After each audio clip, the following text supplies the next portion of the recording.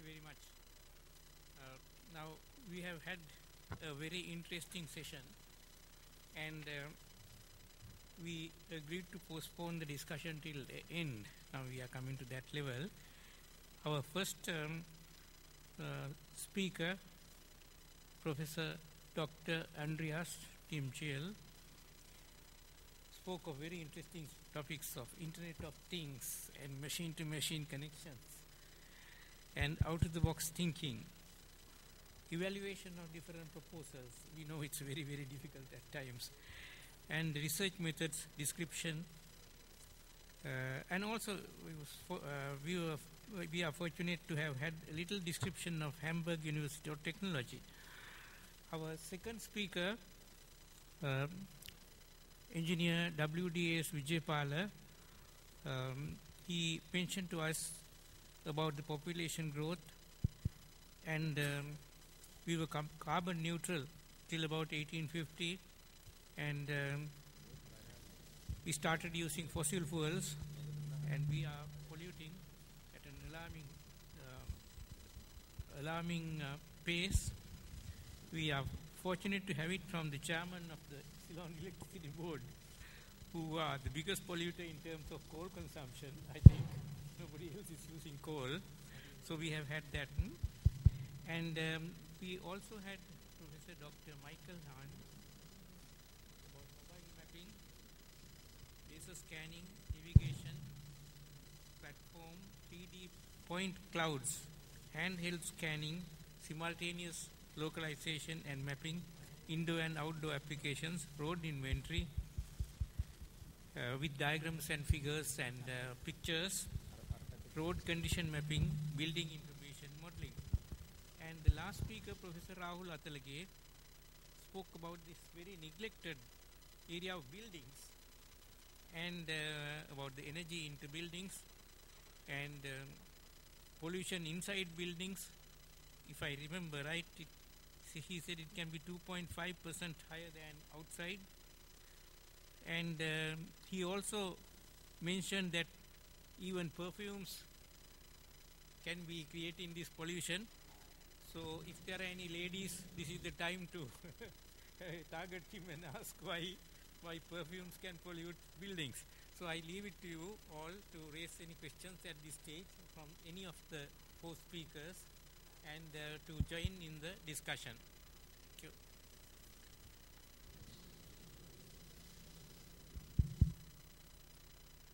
Good afternoon, sir. I am Commander Mahagadar from Navy. I would like to forward these questions to Mr. Anura Wijayapala. And thank you very much for your comprehensive and timely presentation. As an eminent and influencing person in Sri Lanka in the engineering field, what sort of action you have taken in your organization or uh, in Sri Lanka to reduce the carbon, di- carbon di- dioxide emission? And what are the policies and regulations in Sri Lanka to regulate ca- carbon dioxide emission? And are those enough and viable? Apart from that, are we going in par with other countries following the regulations like in Asia and Europe? Thank you. Please give your name and uh, whatever place of work for record purposes. So I am Commander Mahagadar from Navy. I am a marine engineer. I think in future also, anyone raising any questions, please kindly give your name. Uh, now, uh.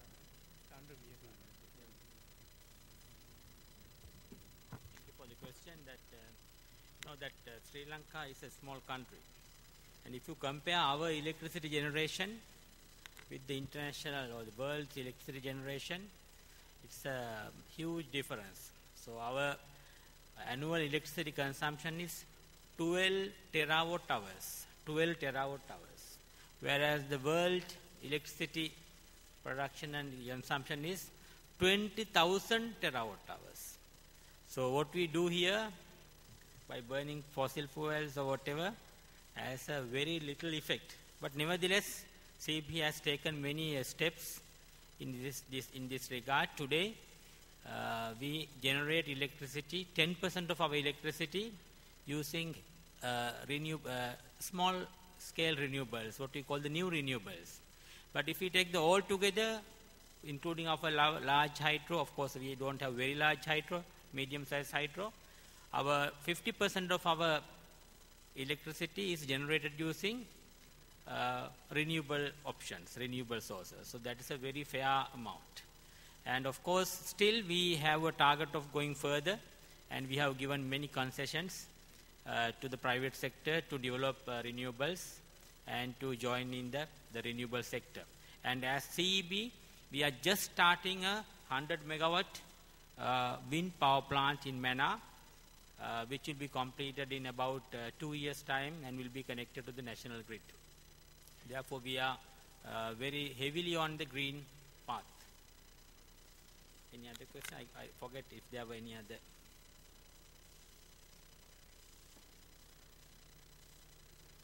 Thank you.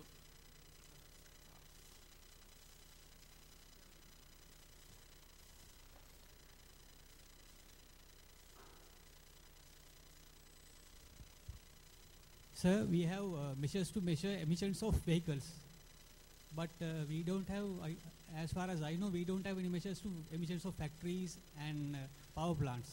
So, how do we measure the emissions of those uh, areas? Course, the emissions of all power, uh, the major power plants are measured. There are online me- me- measuring methods now. For example, stacks of the Norochcholai power plant are continuously monitored with online measuring. But of course, small scale power plants, small power plants, they don't have online measuring. But you can always estimate what are you measuring, what are your uh, emissions by uh, estimations. For example, we know by burning one kilogram of coal, we produce one kilowatt hour. So we know how much coal is we are burning and so on. So of course, the national emission levels are therefore either uh, rather than through re- direct measurements, they are estimated. Therefore, all over the, uh, the country as well as the world, we have fairly accurate uh, emission measurements or estimations now. So the therefore, IPCC has a special inter- intergovernmental panel for climate change has a special uh, group called the uh, their fourth uh, uh, group in their structure, which maintains national uh, emissions inventories. So they maintain for every country what are their national greenhouse gas emission inventories. I hope I made some uh, uh, clarification for you. Right? Thank you. Sir, Any further points for discussion, please? Sir, good evening. I'm uh, uh, Squadron Leader Kungdu Amravardhana, retired from the Sri Lanka Air Force. Uh, so this question is again for you, sir. Uh, uh, sir, now uh, I know uh, for a fact that uh, uh, in the generation plan of the CEB, it's the least least cost uh, option that you follow. That's why we go for the coal from 2011, if I'm not mistaken. So uh, now I see uh, drastic improvement of coal implementation in Sri Lanka. However, we have a national energy policy uh, target as well.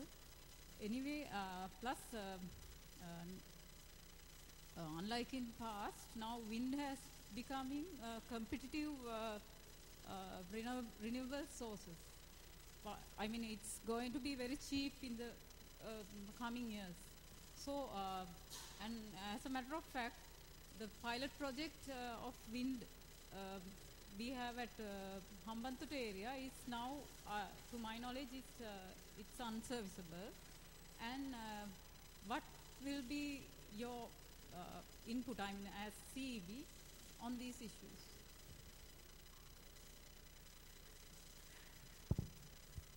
Of course, our least cost generation expansion plan has many coal power plants to come because that is the, the, the cheapest at the moment in, uh, as far as the power generation options are considered.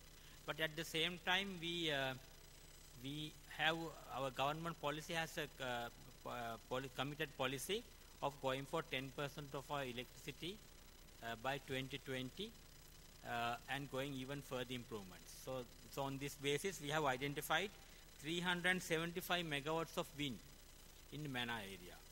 But unfortunately, we can't uh, develop all of them uh, to, uh, at the same time because of the limitations in our grid grid's ability to absorb them because we are an island. So being an island, if we have 375 megawatts of uh, uh, electricity coming from wind power plants, when the wind is not and we we don't uh, we we replace by, by wind one of our coal power plants. So we don't build the coal power plant. Instead, uh, instead of that, we build the 375 megawatt wind power plant. But the moment the wind is not blowing, our 375 megawatt power plant will come to very low output. Then somewhere we will have to switch off, which is not acceptable to the people. So therefore, we have to make sure uh, whether we use renewables like uh, uh, wind, we have sufficient capacity elsewhere to meet the demand when the renewable source is not available. It may be solar, it may be wind. Therefore, we are going into these renewable sources like wind and uh, solar and all that very cautiously. So that we make sure that when you go home and uh, press your switches, you have electricity rather than uh, notice from CEB saying wind is not blowing, right? So, so we make sure that the reliability of the supply is there. But uh, nevertheless, we are going for renewables uh, uh, as much as possible. So one, one more thing, sir. Uh, now the oil refinery in Sapugaskanda, it's almost 45 years or so old, and uh, uh, it's not been renovated or been modernized yet. And it's I, I've heard that when we we have only about 60% of efficiency on that plant now. So uh, why don't we go for that? I mean, it's it's a waste of uh, Yeah. resources. I'm, right? I'm not the right person to answer that because uh, that is not in my purview. But uh, from my knowledge, what I see is that their government had a plan to re- uh, rehabilitate that uh, refinery because even at the moment we import, I think, uh, about 50% of our refined oil. So diesel, petrol, refined oil, we import a lot now because the refinery capacity is not available, and on the other hand, it is not efficient enough. Therefore, what you say is correct, and therefore the government has plans for uh, rehabilitation of it. And of course, they had a joint uh, inspection of this issue with the Iranian government, but unfortunately, with the economic embargo on the Iran, they couldn't invest on this. Therefore, there was an issue. But I think the government is working on this. Thank you, sir. So, excuse me, can I ask another question from Professor Attalage? Okay. Sir, uh, uh, now we have that uh, Green Building Council in, Sri- Council in Sri Lanka. We have the G- Green Building Council in Sri Lanka, and uh, I've not seen much more work. Uh, I mean, uh, it's not been established. It's been established, but the work output I, I have not been seen. Rather than cer- certifying the buildings for this uh, uh, LEED certification and all. Uh, to, uh, just to uh, make aware, would you please tell me that what else does the Green Cou- Council building in Sri Lanka does? Same answer. I, I don't represent the Green Building Council, uh, Sri Lanka. Well, what I understand is uh, just uh, a general remark would be that generally all across the world um, there is a trend for demanding for gr- green buildings. That means it's not only from a perspective of energy, it's uh, optimally use resources like water, uh, energy, the land, then the how it is integrated, the building is integrated with the surrounding, and also the Indo uh, environmental perspective that is uh, conducive and optimum for the occupants. So all put together would be the green building scenario. So all countries have embraced this. Uh, LEED leadership in energy and environmental design uh, launched by the US is the most uh, prominent uh, internationally. So, as an example, Sri Lanka has about 13 LEED certified buildings. So, in that per- perspective, Sri Lanka uh, Green Green Building Council also emerged. But I think they have not done adequately from a perspective of uh, green building rating and certifying. So they need to, in my opinion, they need to have a uh, more efficient, effective platform. So I don't want to comment more than that. Um, but the tr- trend is that across the world that uh, all buildings would be moving towards green building, and especially commercial buildings where they will have a competitive advantage of they are producing goods and services will have a tag that would be indicating that so this has been produced or the service that would come from a green building where the building is supposed to be in um, harmony with the surrounding and resource optimum. So I don't want to comment more than that. Uh, So, sir, Yeah, hello, uh, while, while you are on the rostrum, uh, I want to raise a Yeah, question. For the record, I'm- I am KKYW Pereira. Um, again, the same thing uh, that I uh, spoke earlier. Mm. You said 2.5% extra pollution inside Indo- buildings. ah, Now, no, it's not 2.5%, components it- 2.5%? no, Uh, it is two to five times the Indo, two to five times more polluted than what you can find in outdoor. So we generally focus on outdoor pollution because of the automobile emissions, etc. But if a building is not properly designed, not properly addressed, if it's uh, occupancy, it is not designed to match its occupants' requirement, it can be two to five. It's quite often, especially if you go for these classrooms, uh, laboratories, etc. If you take measurements, we have found that it is much higher than the so usual carbon dioxide levels expected is about 800 ppm, right? Uh, that's the standard kind of thing uh, from health uh, perspective. So if you take measurements, if it is not properly designed, it can go up to about sometimes 2,000, especially in industrial, these apparel industries where a lot of people are put together, the cinema halls, the, so that can be not in residential, of course, it's ventilated, especially when the buildings are done for uh, people to get uh, people to congregate, and when they are air conditioned. To save energy in cooling, we tend to minimize the outdoor air coming into the building, and therefore the in- interior con- uh, concentration tend to go up. In addition, the generation of pollutants by materials like furniture, carpets, paints, and also the cleaning agent, volatile com- uh, organic components like these acetones, things like that, used for cleaning, cleaning of uh, furniture, the floor, tiles, etc. All this, these get added to the interior environment when the the the outdoor air, ref- fresh air that is brought into the building is not adequate. Concentrations can be very high. In addition, I said that body perfumes, etc. All these are volatile components that would be added to uh, as body flu- fluids into the indoor environment. So it's, it can be two to five times. That's what it is. Thank you very much. Yes, um, I'm Vipul Abeyratna from uh, Department of Spatial Sciences.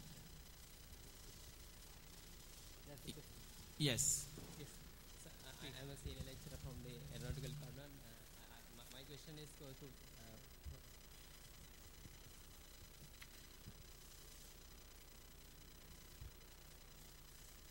uh, Sir, uh, uh, my question is go to Professor Attalage.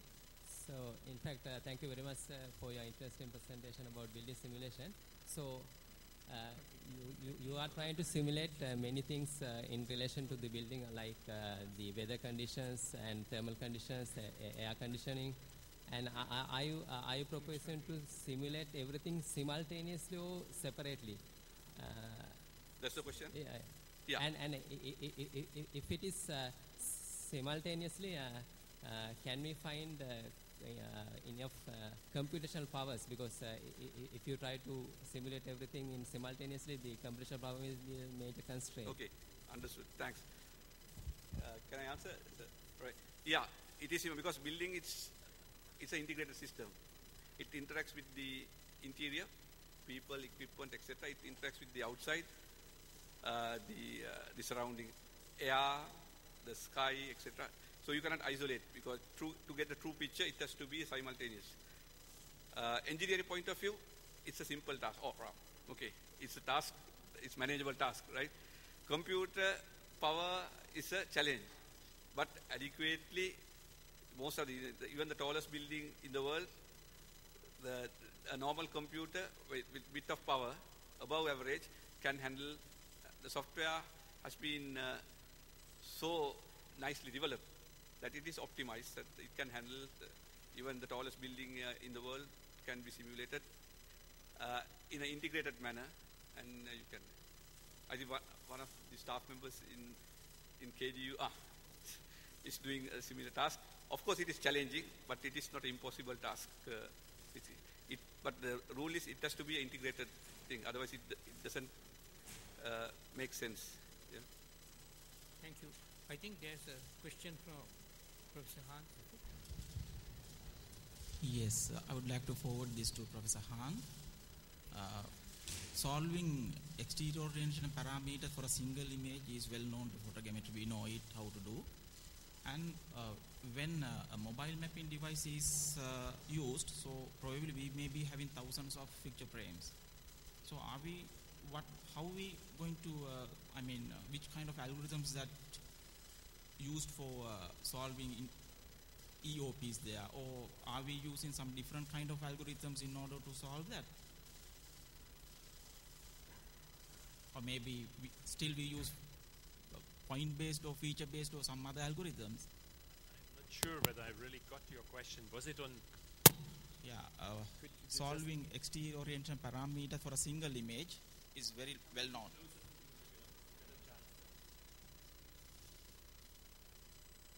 Yes, uh, solving of uh, exterior oriented parameter for a single image, we know how to do that one. But if we use mobile mapping devices, probably it takes thousands of picture frames. So then how we solve the problem? I mean, are we using the same algorithm or maybe based on uh, points or features or what?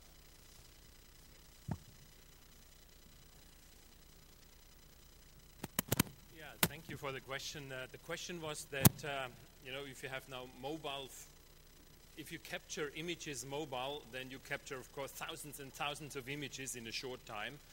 And uh, this orientation stuff through resection or similar techniques, of course, uh, is developed. But how does it work if you have this much images? Um, basically it's like this that you use of course the dynamics now of your movement so you, you use the information that you are able to predict where is your next location where you took a photo Uh, so you know roughly very well where you are. And uh, this is then this idea that you have some information about 3d you must solve the correspondence problems to the image and then you can update your your exterior orientation as we call it also. So it's uh, in principle it's the same algorithms. They work within what we call a Kalman filter solution to solve that problems but in principle it's still the same basic algorithms behind it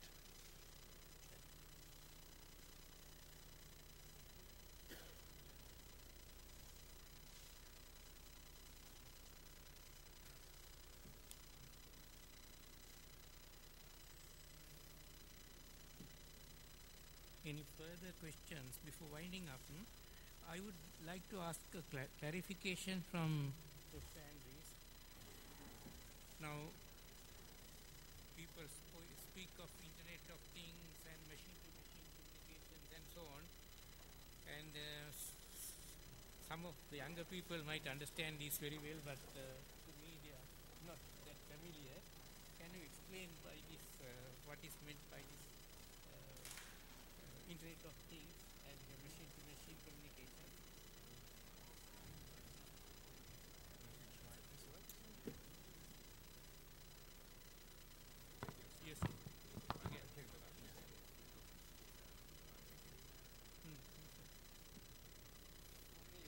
Um, the question was what the Internet of Things and cyber physical systems and machine-to-machine communication is all about. so I think what we see is that we have the generation um, of human-to-human type of communications. We have human to uh, the internet type of communication, and the next dimension is um, very much related to what we have seen on the other sides here. We have seen the, the home, which gets to be more and more smart, to be more energy resilient. So you will have an in- interconnection between the cyber world, which is our IT world, and the real world, which we call cyber physical systems. And um, the Internet of Things is an internet which is connecting the different devices and sensors. So one, one of the examples is very nice, this home, which is being modeled by you. And the home will have in the future many, many sensors and many, many actuators.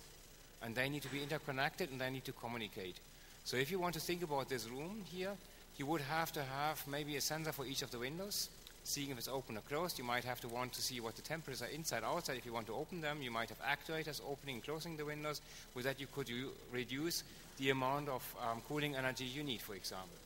You might want to have temperature sensors all over the space where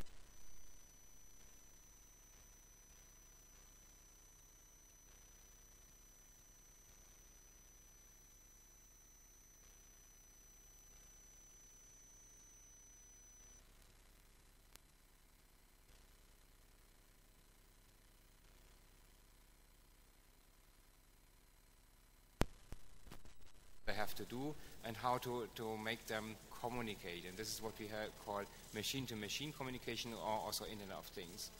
And this goes beyond um, this, the building, it goes to the city. It could be bridges, water canals. Um, you would um, detect flooding in time, that you would change um, the way the water flows, for example. You could think about um, the same thing in production. Now we call it Industry 4.0 in Germany, the fourth generation of industrial production. And if you go for um, yeah, um, for cars, for example, it's the cars communicating, but also the parts in the car. The tire could communicate to the rest of the car, and that's what we all call Internet of Things. Yeah.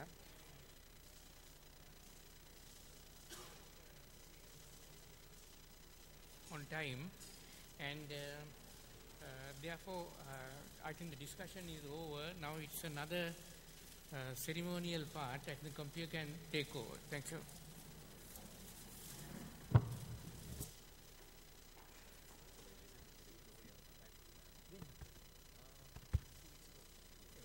Ladies and gentlemen, we have come to the end of the engineering plenary session. It is time to sum up the session. Now, I would like to invite Professor K.K.Y.W. Pereira, the chair of the session, to present tokens of appreciation to the presenters.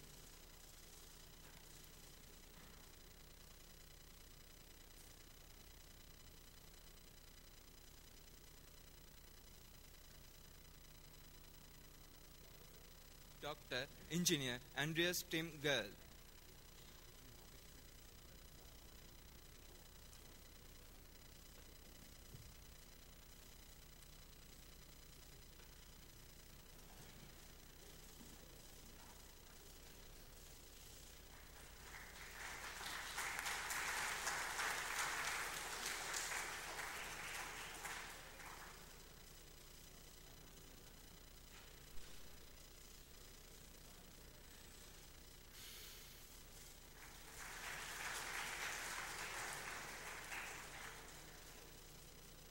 Mr. Anura Vijaypal.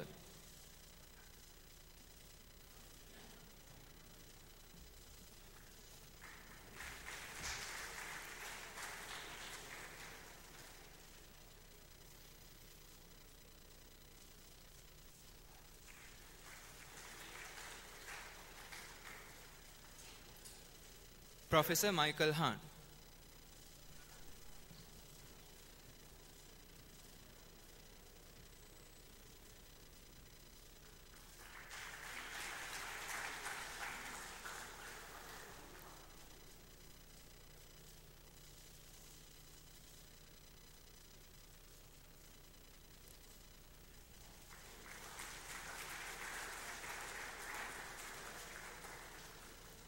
Professor R. A. Attalage.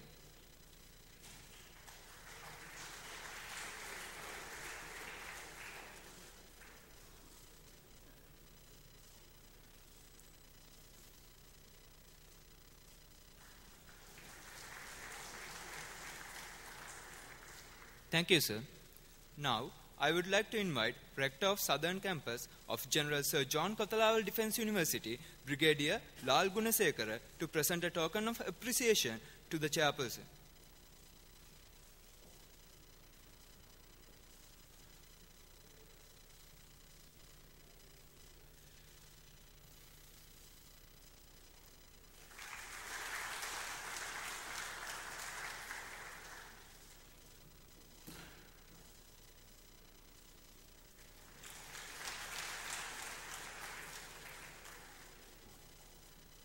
Thank you very much.